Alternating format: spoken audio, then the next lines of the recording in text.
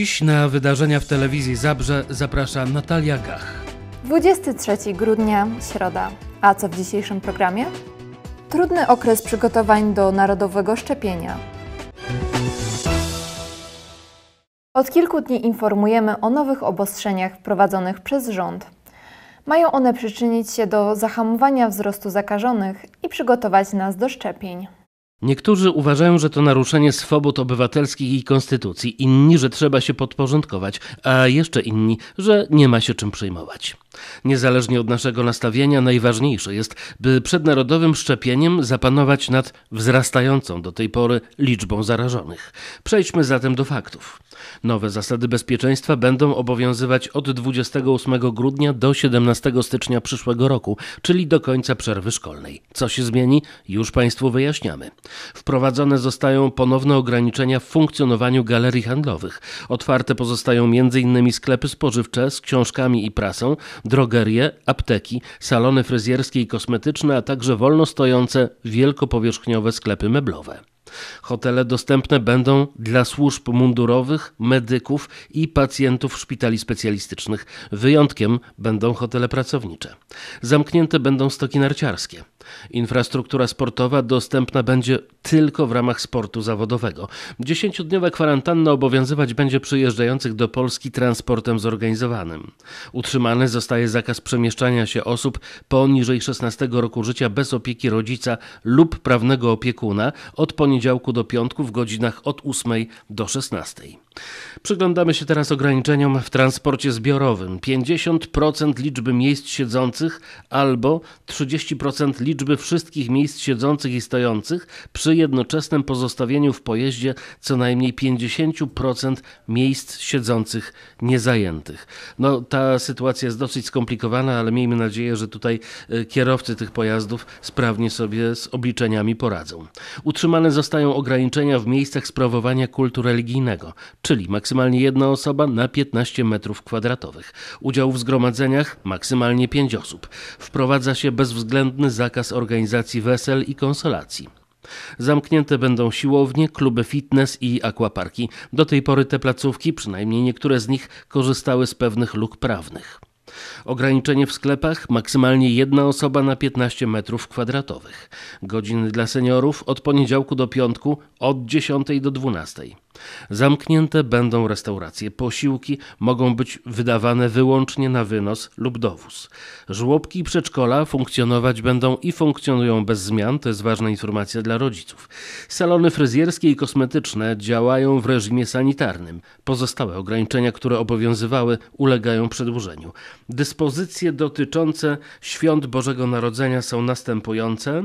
Spędź je ze swoimi domownikami. Nie organizuj dużych spotkań. Pamiętaj, że obowiązują ograniczenia liczby gości, których możesz zaprosić. Jest to łącznie maksymalnie 5 osób poza tymi, które na stałe z Tobą mieszkają. Z 31 grudnia na 1 stycznia 2021 roku w godzinach od 19 do 6 w całym kraju obowiązywać będzie zakaz przemieszczania się. Wyjątkiem będą m.in. niezbędne czynności służbowe. Ten zapis budzi wiele kontrowersji, więc pewne jego elementy mogą ulec zmianie, o czym widzów telewizji Zabrze poinformujemy natychmiast. Grudzień to szczególny czas, w którym chcemy zanurzyć się w świątecznym klimacie. Pomocna może okazać się w tym książka. Podarowana sobie lub bliskim potrafi wyczarować świąteczny nastrój i dostarczyć nam pozytywnej energii, która jest nam potrzebna zawsze, nie tylko od święta. Na świąteczny nastrój, który zwykle towarzyszy przygotowaniom do świąt, każdy z nas ma swój własny patent. Dla jednych będzie to dekorowanie domu, dla innych nastrojowa muzyka, czy też oglądanie filmów w odpowiednim klimacie. Na tej liście w grudniu zwykle gości coś jeszcze. Świąteczna książka, często kupiona kilka miesięcy wcześniej i czekająca na odpowiedni moment, by wyczarować nam to, co czasem umyka w ferworze obowiązków. Książka to doskonały prezent zarówno dla siebie, jak i naszych bliskich, by podarować sobie choć odrobinę magii. Księgarniane półki kuszą barwnymi książkami dla dzieci, które z pewnością ucieszy czas spędzony na wspólnym czytaniu. Kto z nas choć raz nie chciał poczuć się znów dzieckiem?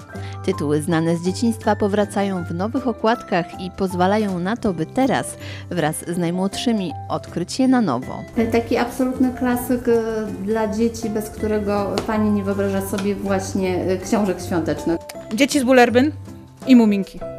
To są takie tytuły, które bardzo się podobają i co roku są wypożyczane, a do tego bardzo często mamy myszkę Miki. Też są właśnie takie edycje albo pozycje, które bohaterowie dziecięcych książek się pojawiają w wersji świątecznej. Tu akurat jest myszka Miki, ale mamy też Boba Budowniczego, mamy Psi Patrol, tutaj jest troszkę zagadki, tu akurat też jest Gabriela Gargaś, ona pisze i dla dzieci i dla dorosłych. Tu ma takie przygody detektywistyczne. Czy w grudniu czytamy inne książki niż zwykle? I co się za tym kryje? Wtedy potrzebujemy magii, wtedy potrzebujemy radości, spokoju, y, czegoś, co nas ukoi, da nam nadziei i, i zmieniamy. Zmienia się odrobinę gust czytelniczy wtedy. Mamy taką świetną Gabrielę Gargaś. Bardzo ją nasze czytelniczki lubią. Ona ma kilka takich książek świątecznych, gdzie y, wszystko się udaje, marzenia się spełniają.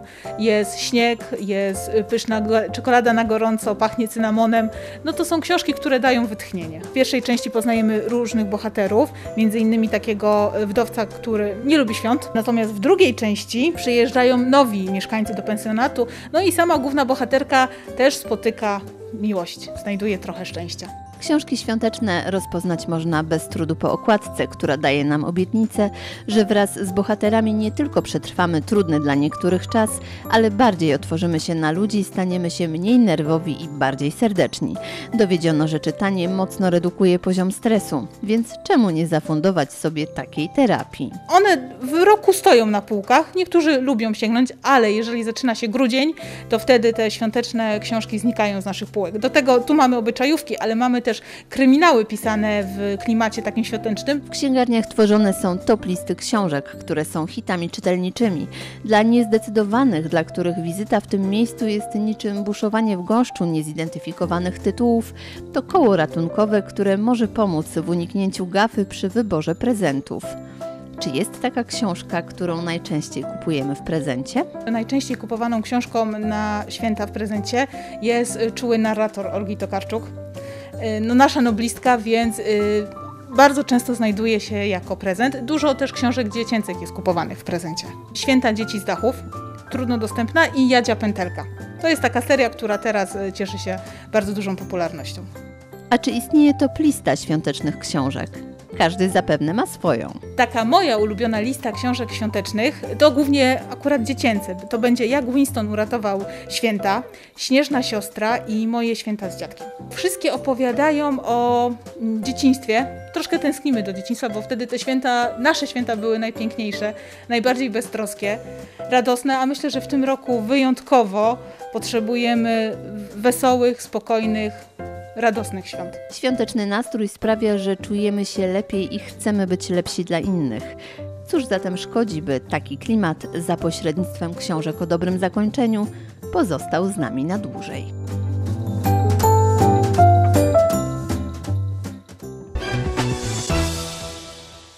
Na koniec chciałabym zaprosić Państwa na koncert świąteczny Filharmonii Zabrzańskiej jutro na naszej antenie o godzinie 17.15. W imieniu całej redakcji życzę Państwu wesołych i spokojnych świąt. No i do zobaczenia wkrótce.